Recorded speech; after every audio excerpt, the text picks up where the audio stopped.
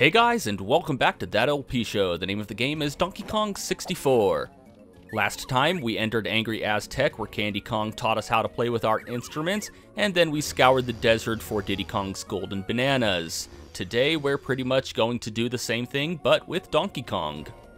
But first, we're going to visit Cranky Kong because he's a lonely old man who needs the company. Also, he does have another ability for DK. I could have taken the number 3 teleporter if I wanted to go straight to him real quick, but as you can see if we take the long path here, Donkey Kong has a few yellow coins that aren't too far off the beaten path, so why not just go after them? Alright, so I made it through this narrow path without falling down when I went through with Diddy Kong. Let's see if I can do it again with DK. Nice and easy, and there we go. Alright, so once again, this being Donkey Kong's second potion from Cranky, it only cost 5 coins, and we get Strong Kong. Which apparently smells and tastes terrible. Anyway, it's pretty much DK's star power. It turns him invincible. All you have to do is find a barrel with Donkey Kong's face on it. We actually saw one in the last episode, but it was transparent because we didn't have the ability yet. And he'll remain invincible until you either run out of crystal coconuts or you hold down the Z button and press C left in order to deactivate it. If you're wondering how we're going to get Diddy Kong's final 10 bananas, this ability of DK's is the key. Anyway, don't forget those two yellow balloons. They can be a little easy to miss because the camera is zoomed in so close and they're up high out of your field of view. Anyway, remember that llama from the last episode who is being very impatient with us rescuing him? Well, he's finally going to get his wish. But first I want to go behind this temple, and you probably already saw why. Let's see, is it to end up here? There we go. I hope, I probably could have gotten that in one shot. Anyway, now we need to head down into this pad right here and launch ourselves up for another barrel cannon mini game. And I take back what I said in our first barrel cannon mini game. Remember when I said that there's always collectibles up in these things for DK?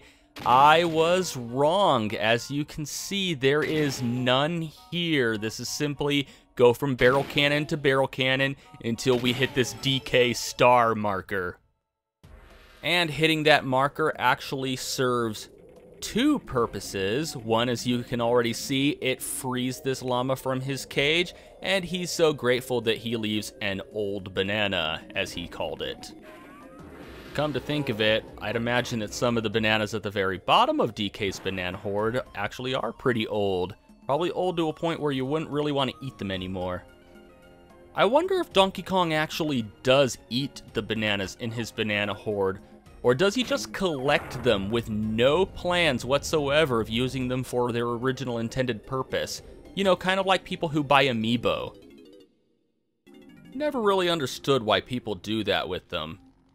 Come to think of it, I don't even understand why people really are that into amiibo. I've looked at them. Um, I guess they can unlock some neat things. I just haven't found a game yet that uses amiibo in a way that merits the $12 price tag. That's ridiculous. Um, I went through that with my kids and Skylanders. I'm not going to do it again. Anyway, as you saw from the cutscene when we entered this area, we will be rescuing Lanky Kong. And we have a new enemy right up these steps, the Big Klaptrap. If you try to attack him with normal attacks, he will hurt you. The only way to take him out is just like that. Just throw an orange grenade at him. And that, most of the time, is easier said than done, considering that they're very low to the ground, and the orange arcs when you throw it. So, the game decides to use real-world logic and physics in that situation, but a llama hawks a loogie in lava, and it turns it into nice cool water. You would think that that wouldn't work that way, considering that saliva is supposed to be warm. Now, if it was done by a pirate seal with ice breath like it was in DKC2, that would make sense. Anyway, once we pound on this switch, a cave opens up and we get access to a new area that is completely covered in quicksand. And that cutscene was in real time, apparently, since that big Klaptrap had time to respawn. There's actually quite a few moments in the game like that where you'll come out of a cutscene or out of a teleporter and you'll appear right on top of an enemy and since there's a slight delay before you're able to input controls again, they'll get a free hit in on you. And there is a giggly, sparkly thing in that room that we can't do anything about yet. So we'll be coming back for that a little later. In the meantime, we'll just swim through this cave in the giant pool of llama spit, and there's our new character. Let's just shoot this coconut switch. And we have freed Lanky Kong, who, unlike Tiny, I don't believe is related to any other character in the DKC universe. I guess you can link him to Manky Kong, who was actually an enemy character in the original Donkey Kong Country. But anyway, when we take control of him, we'll be using him to run around and gather blue bananas and other blue MacGuffins. As you can see, there's already a blue balloon floating around in there, so we'll have to return to the area here in order to get that with Lanky Kong. More blue bananas there. Yeah, we'll be all over this place with Lanky. But for now, let's just keep focusing on DK. And our next destination is that temple with all the ammo switches that we unlocked with Diddy Kong, and we'll go we'll go there as soon as I find out where the jump button is. You, you need to die so I can get my melon back. Would you come? I didn't say take another one.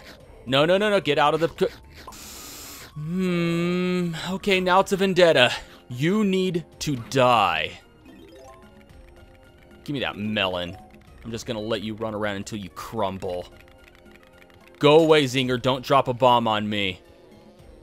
Alright, so there's no collectibles around this temple for Donkey Kong, so we'll just go ahead and shoot his coconut switch and head inside the temple.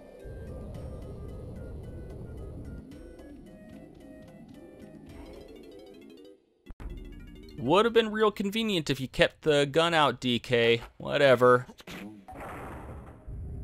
And as usual, I can never remember which way to go, but I'm going to check both sides anyway to see if there's anything that I can get. I really need to memorize that.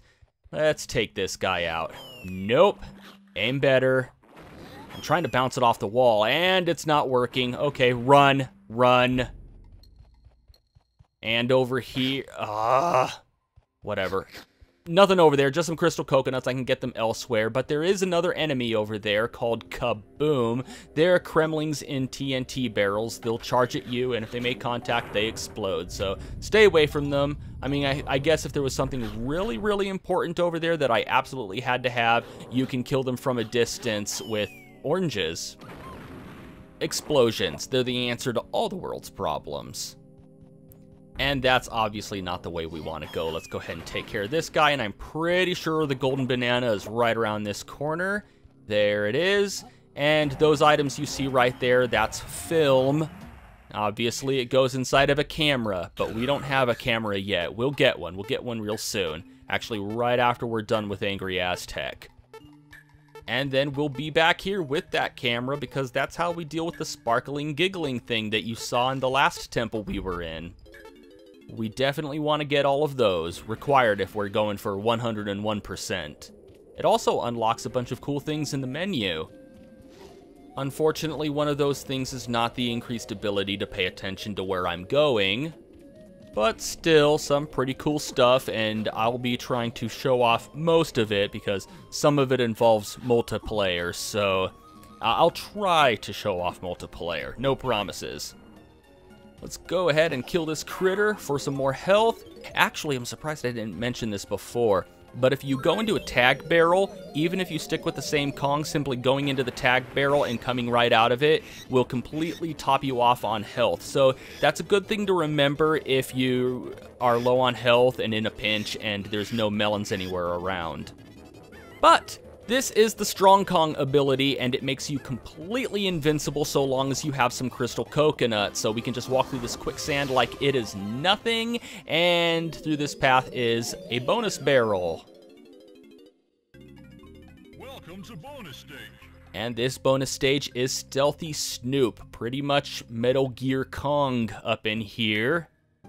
And the object of this bonus game is to make it to the end of this tiny maze without being seen by the enemy. So you see the enemy with their flashlights, stay out of the light, and you are good.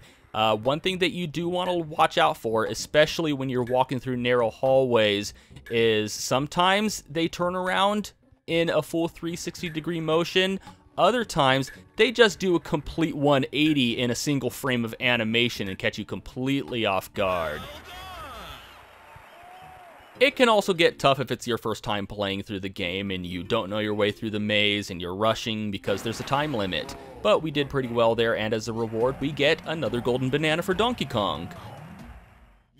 And with that, the other number 5 teleporter appears, so now there is no need for us to use Strong Kong to go back the way we came. We can conserve on our crystal coconuts, which I'll top off here, and we will be using this teleporter a little later with Diddy Kong to go back into that cave because as you may have seen when we went through the first time, his red balloon is there and that is how we will get his last 10 bananas.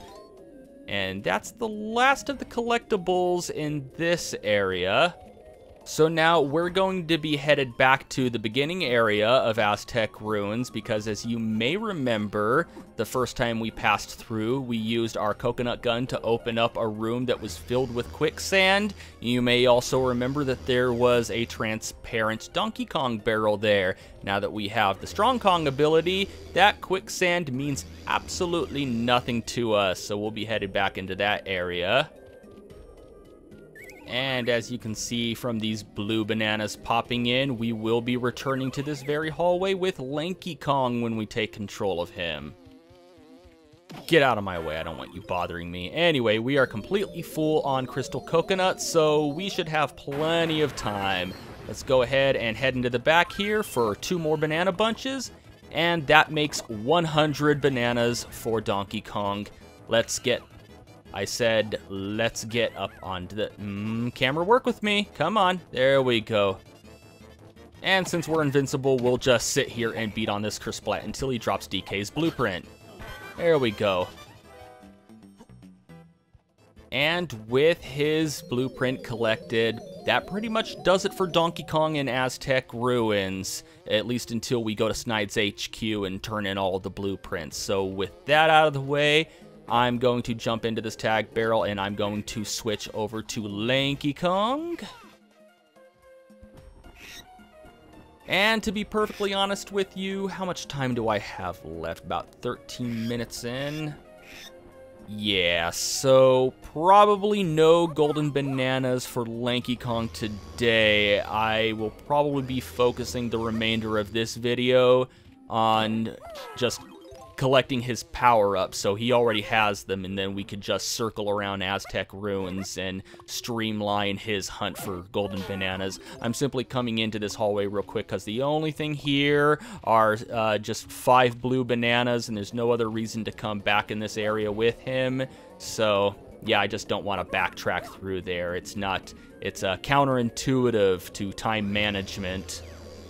Although the later stages in the game, everything gets really far spread out. I'm probably going to have to uh, figure out a good streamlined route so you're not watching me do a bunch of backtracking. But anyway, there's some coins right there, so I'm just going to come into Funky Kong, spend three of my five coins on Lanky's weapon, the Grape Shooter, and I like how Funky Kong makes a machine gun motion there in spite of the fact that none of the weapons we get in this game are fully automatic. They do get homing properties later on, but sometimes those are more of a hindrance than anything else. You'll see why. Anyway, let's teleport on over to Cranky's lab. Gather up four more coins over here, so that gives Lanky a total of six, and this being Lanky Kong's first potion in the game, it only costs three, which means that we'll still have three left over for whatever Candy Kong gives us. But from Cranky Kong, we get the Orang stand. Doesn't roll off the tongue very well, but it's exactly what it sounds like. It lets Lanky Kong do a handstand when he needs to, and stretch his arms out just for you. No, just just the handstand part. Anyway, just like with Diddy's Chimpy Charge, it uh, activates by holding down the Z button and pressing B, and it allows us to climb up steep hills so we can access areas that only Lanky Kong can access. Oh, why the hell did I do that? Just spin and fall in right out the door. Go there goes my streak of not falling into the quicksand near Cranky's lab. Anyway, this is the orang stand, and you can stay in this position so long as... So long as you hold the Z button, and I figured instead of using the teleporter to get a shortcut to Candy Kong's. I'm just gonna go along this path as long as I'm here because Lanky has some blue bananas, and I don't think he has anything else in this area. So we'll just head straight on over to Candy's. And combat-wise, I love Lanky. He has that far stretch, so when he spins, he just smacks the crap out of enemies all around him, and it's real nice. And as far as speed and strength and jumping ability, he's very middle ground. So he, he's got the most balanced stats of all of the other Kongs. Anyway, we get Trombone Tremor from Candy, and that pretty much gives Lanky all of the abilities that he can get here in Aztec Ruins. So now that we have Lanky all powered up and he can access all of the different places here, we'll start focusing on gathering up all of his golden bananas. And what better place to start than this first temple since it's right here in the opening area. And to open up the door for Lanky, we just need to locate his switch around the corner here, position ourselves, pull out the grape shooter, let one rip, and that opens up the front door for us to go inside. But that's going to have to wait until next time. And until next time, thank you for watching that LP show, and have a one that is good.